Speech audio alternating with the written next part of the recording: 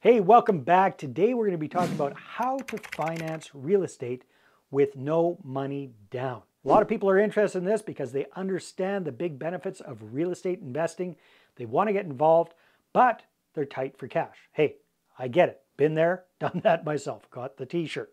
So today we're going to be talking about how to finance real estate with no money down, or at least with none of your money down. That's what we're talking about here today.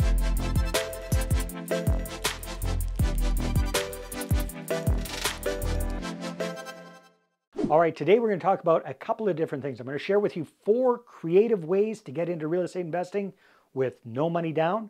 Then I'm going to be talking about OPM and OPC. What does that mean? What's the difference between the two of those? And then I'm also going to be talking about who are the absolute best people you should focus on as investor partners and where to find them. Stay tuned. All right, first of all, let's look at a couple of different creative ways that you can invest in real estate with no money down. This is what I did way back in the day, back in 2003 when I first got started. I did 18 deals in 18 months with little or no money and none of my own credit. Never went to a single bank, never qualified for financing, none of that kind of stuff. So it is definitely doable. And some of the different ways that you can do this is if you find a motivated seller who owns a property free and clear, then you can get owner financing on a deal. That means that the owner of the property will be the bank for you. You don't have to qualify for financing. If you're a really good negotiator, you might be able to get it with no money down or very little money down, maybe as little as 1,000 to $5,000. So relatively speaking, for a real estate deal, very little money. So that's one way. You can focus on owner financing type deals. Another thing that's kind of similar to that is you can do deals subject to the underlying financing. So let's say you find a motivated seller who has a mortgage on the property, um, so they don't own it free and clear. They do have financing on the property. You can arrange a deal. You can buy it subject to the financing that already exists. So back in the good old days, you used to be able to just take over that mortgage without qualifying for it. Nowadays, that doesn't happen very often. But what you can do is you can get title of the property, yet the mortgage stays in the owner's name. Now, why on earth would they possibly do this? They'd have to be pretty motivated, they'd have to be pretty desperate, but there are certain circumstances where that happens. I've done that kind of deal twice in the past. So that's a creative way. I didn't have to come up with any money. Well, I did come up with a little bit of money to help them bring up their, their payments up to date so they weren't behind on their payments. But relatively speaking, no money down in that kind of deal. Another strategy you can look at are sandwich lease rent to own deals. So that's where you find a motivated seller and instead of buying the property off them directly, you get an option to purchase the property at a future date and you get the right to lease that property and sublease that property to a tenant buyer. So it's called a sandwich lease type deal. You're leasing the property with an option to purchase it and then you're subletting that property to a tenant buyer with agreement for them to buy the property two or three or four or 10 years down the road from you at a specific price. So the difference between the price you're going to pay the seller and the price that the buyer is going to pay you is a big part of your profit. The difference between the monthly payment you are making to the seller and the monthly payment your tenant buyer is paying you is a big part of your profit. The fact that you're putting little or no money down as a deposit up front and getting 10, 15, $20,000 option fee from your tenant buyer as another big part of your profit there. So that's another creative way to get into real estate investing with none of your own money. And the last creative strategy we'll talk about are options. And options are basically kind of like acting like a realtor. So you find a motivated seller, you say, hey, I want an option to purchase your property at this price, and I'm going to try and find somebody to buy it from me at a higher price in which case you agree that I can sell the property and keep the difference. So uh, you, you don't have to come up with much money for this, but to make it legal, you probably have to come up with 50 or $100 as an option fee that gives you an equitable interest in that property. And then you can market the property and anything you get above what you agree to pay the seller is your profit. Now you got to make sure you do this properly. Otherwise, you could be crossing the line with your local real estate board. You could get in trouble with those guys. So you got to make sure that you do this properly through a lawyer. But again, this is another way that I've done personally in the past to get into deals. In fact, I did one deal that worked out really well. I made $35,000 on that deal in about six weeks doing an option. So again, that's another creative way to get into real estate without any or very little of your own money involved. Now let's talk about what I think is the best way to do real estate deals with none of your money involved. And that is by using OPM and OPC. What's OPM? Other people's money. What's OPC? Other people's credit. And quite often you combine the two of them.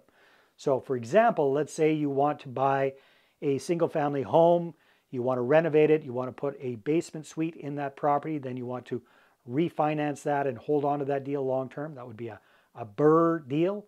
Then you could do that with somebody else's money. You could bring on a joint venture partner. They come in with the cash. If they come in with the cash and they come in with the credit, then you're using OPM and OPC.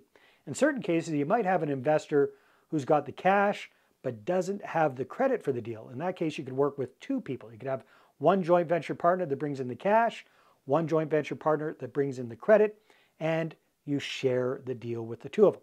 Now, obviously, you'd be paying a much bigger chunk of the profits to the person who brought in the cash, but you'd also want to compensate the person that brought in the credit because they're, they're, they're providing a valuable service to you as well. But again, it wouldn't be anywhere near as much as you're paying your money partner in that case.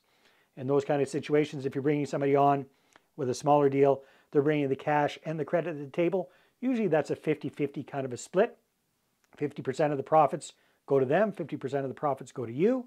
If you're bringing in a money partner and a credit partner and yourself, then perhaps it's 40, 40, and 10. 40 for your money partner, 10% for your credit partner, and 40% for you for finding the deal, managing the deal, doing the deal, etc., etc. So again, it's a it's a win-win for everybody.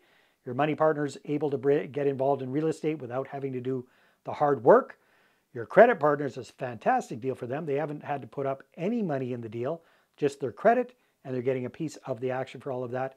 And you're getting very, very well compensated for putting everything together and managing it. So if you like that idea of OPM and OPC, now the next question is, who are these people? Who's going to invest with me? Who's going to be a, joint venture partner with me? Who's going to be able to bring $100,000 to the table or bring their credit to the table?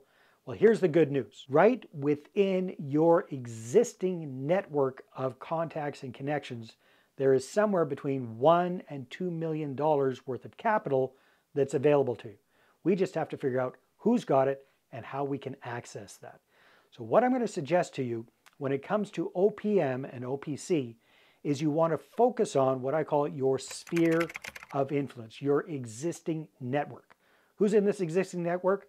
Your friends, your family members, co-workers, business associates, people you know from church or civic organizations, from sporting groups, that sort of thing. You've got a pre-existing relationship with these folks. Why is this important? For a couple of reasons. First of all, if somebody's going to invest 50, 75, or $100,000 with you, they need to know you, they need to like you and they need to trust you with their money. Now, if you're going out to your existing network, these people already know you, they already like you, and to a certain degree, they already trust you. We just have to figure out if they've got the capital available, if they've got the credit available, and if they're ready, willing, and able to invest that with you. So that's what we want to focus on. Focus on your existing network. So that's the first reason. Second reason is safety. What do I mean by safety? Well, again, Caveat here, I'm not a lawyer, I'm not a security specialist, I'm a real estate guy and a marketer. But my understanding is it's actually illegal for you and I as a mom and pop real estate investor to go out to the general public, to go out to strangers and to try to solicit investments from them. We're crossing the line with the Securities and Exchange Commission in the States, with the provincial securities regulatory authorities in Canada, and it can get you into a lot of financial hot water and even worse, right? So you don't want to mess with your securities regulatory authorities. So to stay on the safe side, typically there is an exemption for people, close friends, business uh, associates, and relatives that you can work with, especially for doing joint venture partnerships with. So for safety's sake, that's what we want to focus on. And a third reason is it typically it's the fastest capital you're going to be able to access, right? You already got a relationship with these people. They know you, they like you, they trust you. If you show them what's in it for them for doing a real estate deal with you, chances are, if they're able to, they're going to invest with you a lot faster than somebody who doesn't have that relationship with you. Just makes sense, doesn't it? So now the question is, where do you find these people? How do you create a list of your contacts? Well, here's the good news. If you got one of these, a smartphone, you've already got a huge list already in hand. So you just go in to your smartphone, find your contacts and export them, get them into some sort of a spreadsheet program. Then do the same thing with your email contacts. Do the same thing with your social media contacts. And then chances are you're going to have several thousand people in there. We don't want several thousand people. We want to create a small target group of somewhere between 150 to 200 people that we have a legitimate connection with. Now, it's very, very difficult to think up 100, 150, 200 people's names. But if you do a big data dump, like I just explained to you, now instead of having to do that, now you've probably got 1,500 or 2,000 people. You can quickly go through that list. You see a name, a face pops into your mind, you like that person, keep them. You see a name, you've got no clue who that person is, delete. Keep, keep, keep, delete, delete, delete, keep, keep, keep, whittle it down to 200 people. That is the trick. So then we create that list and then we're going to focus on communicating with people educating them about what we're up to with real estate investing, and allowing them to make an educated decision as to whether or not they'd like to invest with us.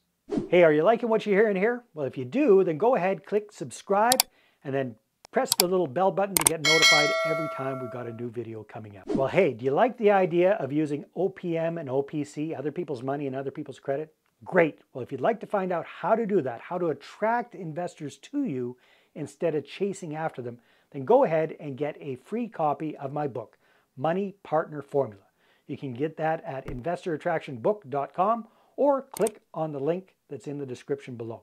This book's going to show you my entire process for how to attract investors, how to create that list of ideal prospective investors, how to get their attention, how to get top of mind, stay top of mind, and have them coming to you asking about your deals, coming to you already pre-educated, pre-motivated, and predisposed to invest. So if you haven't got a copy yet, go ahead, get your copy today.